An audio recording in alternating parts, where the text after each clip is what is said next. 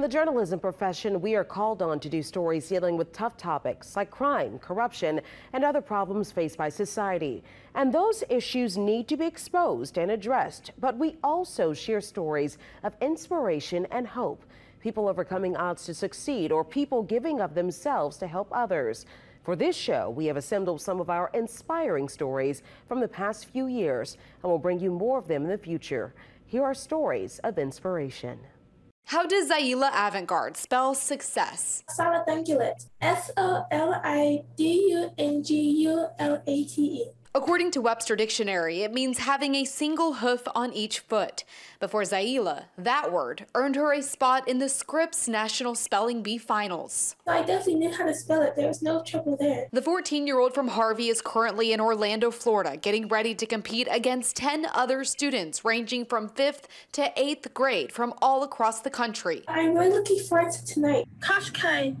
Cute. It's taken a lot of practice to get here, but Zaila has become a pro at juggling many talents at once, including her numerous accomplishments on the court. Basketball is actually like the main thing I do um, because like I started playing basketball and doing that type of stuff when I was five years old. She's appeared in a commercial with Stephen Curry, and get this, Zaila holds three Guinness World Records for dribbling. The main one I have that I'm most proud of is the one I is the biggest basketball Guinness World Record, which is most basketballs dribbled simultaneously by one person, which is uh, six balls. She has more than 12,000 followers on Instagram. And yeah, something like that. And hopes to inspire other young girls to like try new things and play sports and stuff. What do you want to do one day? I mean, where are you thinking all of this will take you? I have a lot of different ideas. I might be like an NBA basketball coach is something I'm looking into. I also might like work for NASA if, uh, if I can. And I also have some interests in like treating diseases. Ambitions that tonight start with spelling for a cash prize of $50,000.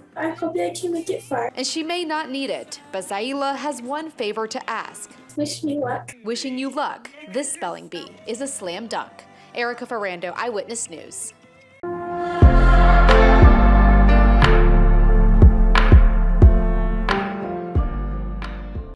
Sounds good.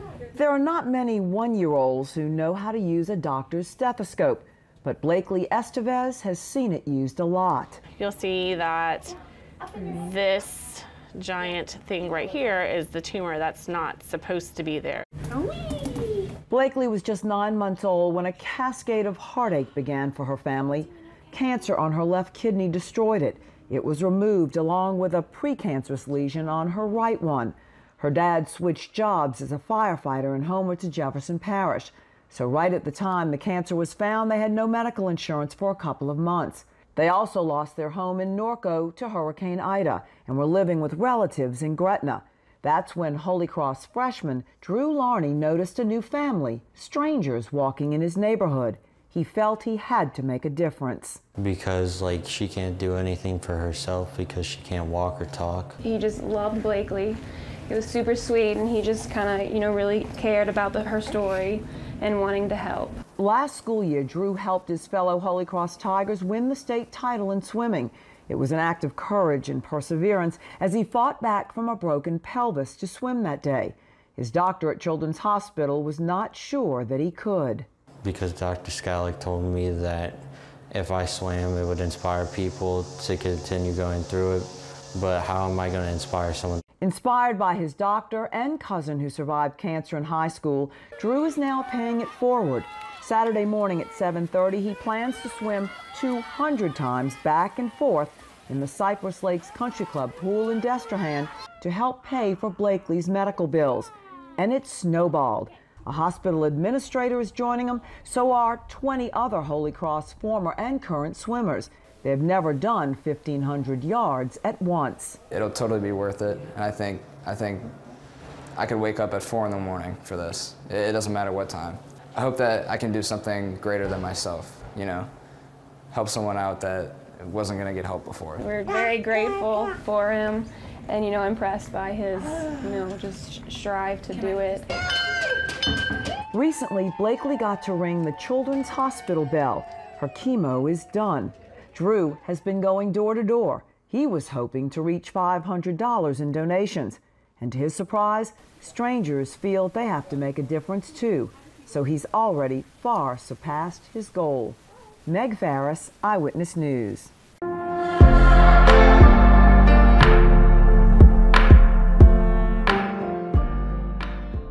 Dale College. What school is this? Hillbrook College. Always um, been devoted to trying to get my schoolwork done and get good grades. Always, of course, like the average child. Just 16, Dennis Barnes is anything but the average child. He's just a few weeks away from graduating from International High School, and he's got a big decision to make. What college will he attend? I have Loyola Marymount University. Well, he's got at least 125 to choose from. It's not normal. I know it's not, of course.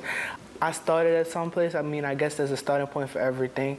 I started and didn't realize where I was going. But as I realized the path I was heading down, like I said, I rolled my momentum and then I ended up farther than I even would have ever thought I would have been. According to those around him, that starting point came when he was little. While his mom is proud, she's not surprised. He's always been very inquisitive, um, always on top of everything. Barnes maintains a more than perfect GPA, is dual enrolled at Southern University, and is bilingual.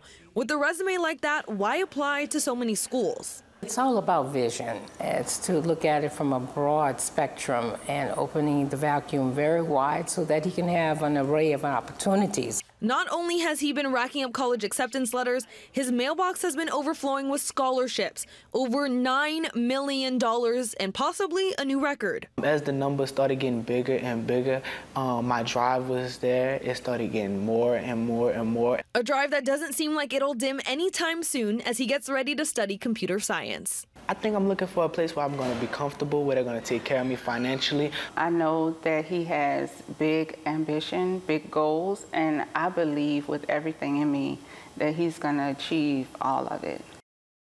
I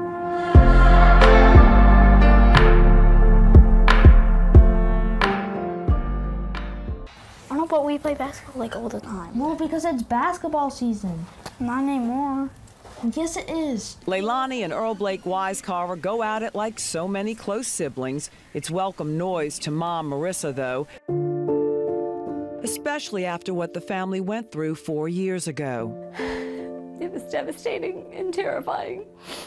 And um, it's just something and any parent would not want to hear. At five, a blood test revealed the bruising on Earl Blake was from blood cancer, leukemia. There was a couple of years of steroids, a port, pills, and lumbar punctures so chemo could be infused into his spine. Earl Blake remembers the nausea and feeling different from his friends who had hair. I remember when I was like bald, it was like in the summertime and I had to wear a beanie because I was like scared to show them that I was bald. I would just say the cancer did it and the medicine did it. I prayed for Blake to get better and like in religion, we get, we like say prayers before and uh, everybody raised their hand for my brother. Now, these two Sibs and some of their classmates at St. Christopher School have joined Army for a Cause. It was started by a longtime family friend who's only 16. I was like devastated. I didn't know, um, I didn't know what to do. It was terrifying. Lucy Nakan is a junior at Chapelle, and she has put together a team of high school students at Chapelle and other schools to join in a seven week challenge to raise funds for the Leukemia and Lymphoma Society. She was inspired last year at the ceremony when Earl Blake won its Honored Hero of the Year, and she met high schoolers in the Student Visionaries of the Year program. So now she's competing against other school teams to raise the most. We're supporting other families who were affected like Earl Blake was, and we're working to make sure that they don't have to go through the same difficulties that he did. She's amazing. It's, I'm so proud of her. It's amazing that she saw what we went through and will now help others.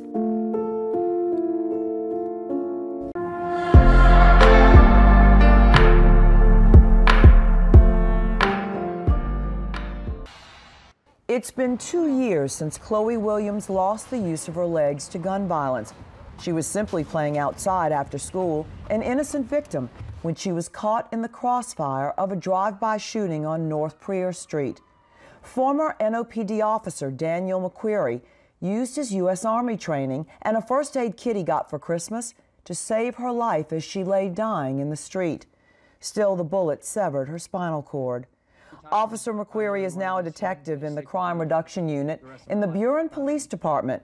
It's part of the King County Sheriff's Office outside of Seattle. He's never forgotten Chloe. He was there when she got out of her long stay in Children's Hospital. He flew back to New Orleans to be with her at her celebration of life one year after the shooting. And this special bond continues even now. Nearly 2,600 miles away, his new fellow officers in the Seattle Southside Chamber decided to help Chloe as well. They raised money to fly Chloe and her mom, Laranisha, to Seattle for Shop with a Cop. Every Christmas, they give dozens of children who've been through adversity money for a shopping spree. Her flight was canceled earlier this month, but finally it happened. They both went on the trip. It was Chloe's first time on a plane, and it was the first time a child from out of town became part of this annual adventure. Detective McQueary and his fellow officers spent the time showering Chloe with toys and Christmas love and hope. Meg Farris, Eyewitness News.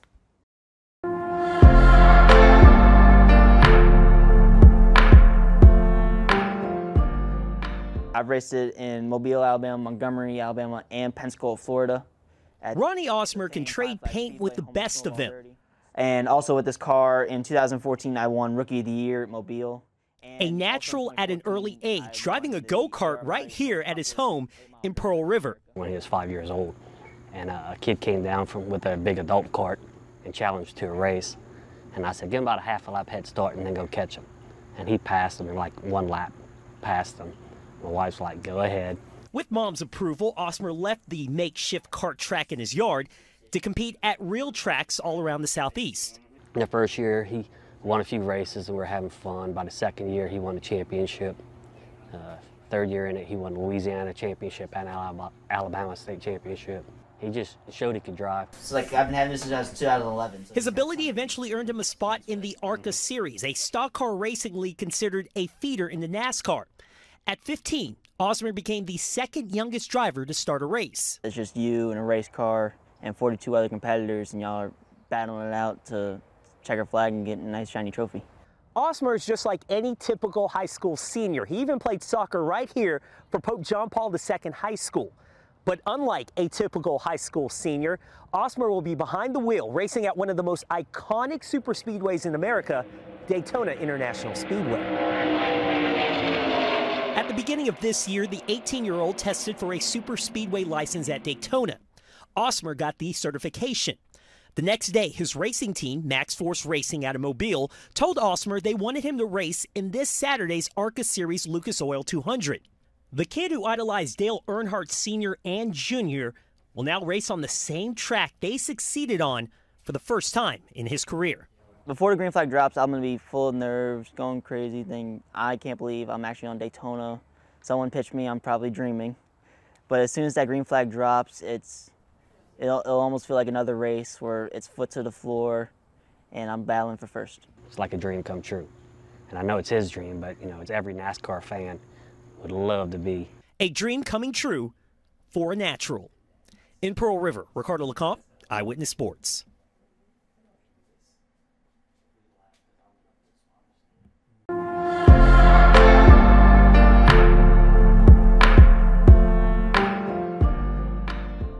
At 29 years old, Hayley Arceneaux has already beat cancer, achieved her dream to work at St. Jude, and her next big milestone, a trip to space. This is the coolest thing to happen to me. The Louisiana native was only 10 years old when she was diagnosed with bone cancer. I remember just thinking um, cancer was a death sentence because everyone I had known with cancer at age 10 had died. Um, and it really wasn't until I got to St. Jude a few days later when I felt hope. She spent the next year at St. Jude Children's Hospital in Memphis undergoing chemo and surgery where part of her femur was replaced with a metal rod. Nearly 20 years later, she now works there as a physician assistant. All I've ever wanted to do is work at St. Jude. Last month, she got a call about St. Jude's role in a big mission. And basically said, Do you want to go to space? And immediately I said, Yes, yes, please. And um, And then I, you know, I thought for a second, I was like, let me check with my mom. Hayley was selected as the second crew member for Inspiration 4, the world's first all civilian mission to space. Later this year, the four person crew will orbit Earth on a multi day journey. It's being funded by billionaire businessman Jared Isaacman. And he wanted to use it for good. The mission will raise awareness and funds for St. Jude. Hayley's role in all of this to offer hope. She'll be the youngest American. I think I'm going to be the first Cajun. and first person with a prosthesis to go to space. Honestly, what I'm most excited about is being the first pediatric cancer survivor in space. Like out of, out of all these firsts, like just just that new precedent it's going to set and what it's going to show these kids what they're capable of. She hasn't even taken off yet, but this mission is already offering hope to pediatric cancer patients. One of the moms came up to me. Um, it was a mom and daughter. And the mom was just in tears telling me how much this meant to her daughter and how it was giving her daughter hope. And um and the little girl had been discouraged recently because she's she can't run or jump. And i told her i can't run or jump either um, because of the prosthesis in my leg but it's not stopping me from going to space. Proving even the sky isn't the limit. Erica ferrando eyewitness news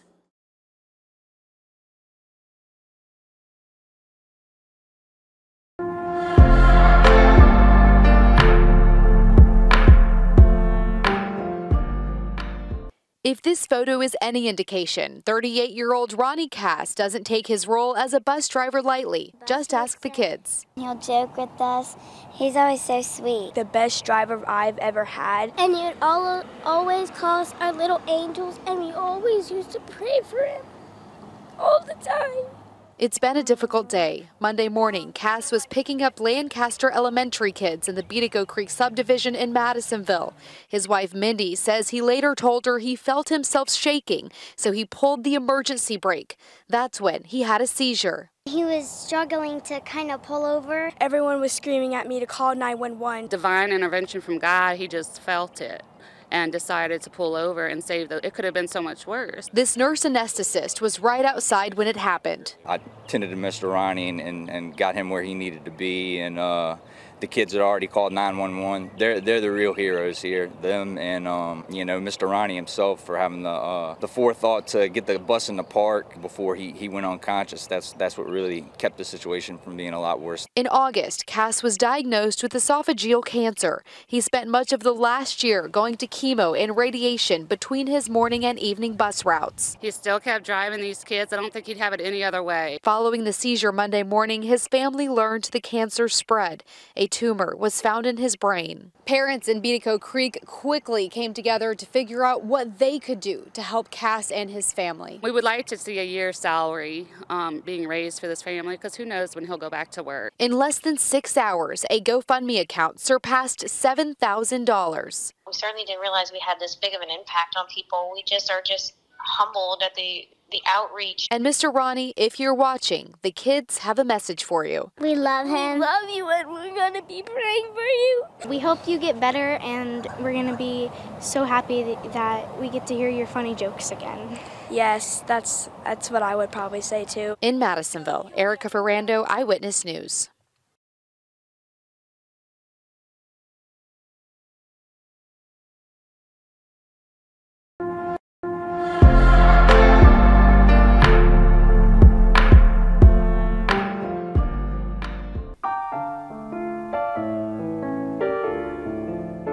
I'm Jordan Pembo. I'm 17 years old and I'm the highest rated female chess player in Louisiana. And of women my age, I am 45th in the world.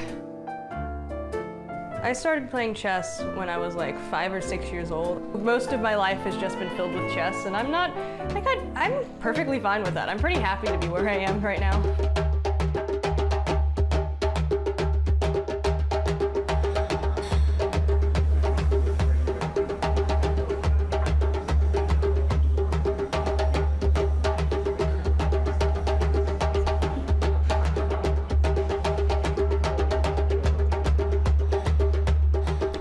Play kids around or higher than my level because my coach always wants me to have competition, so that's how I actually grow. Because if you play against people that are not as good as you, then you generally don't grow. You just kind of become overconfident and like stuck. Well, I've heard people say chess is a boring sport. That is a lie.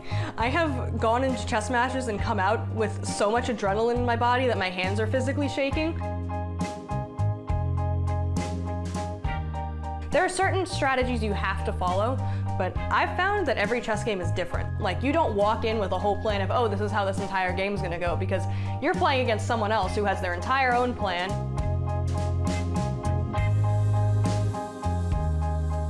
Chess is extremely beautiful. You can, there are thousands of different ways for a single game to go. It starts with a single move of a piece and ends in beautiful endgames. You can make one mistake and bring yourself back from that, or your opponent can make one mistake and all of a sudden you have the win. It's always amazing to play, and it's amazing to see how chess is like an exhibit of other people's heads and the way they think.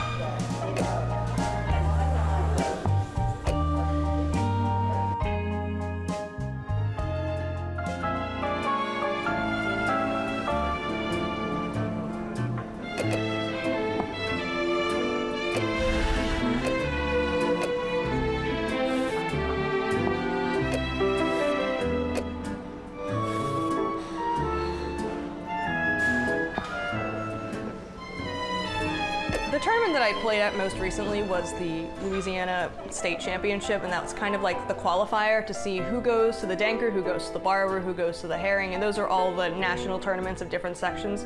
Tournaments can get very cutthroat because you have to remember, these are women fighting for national rank. Making friends is fun, but that's not what we're here for. We're here to basically fight for our state. I don't like when you have to put a bunch of pressure on yourself. So that's one thing I'm trying to avoid with this Haring tournament. So I just kind of want to see it as having fun mostly and playing to the best of my ability. You don't want to stress yourself out over it, but you also want to be aware that you are aiming to win.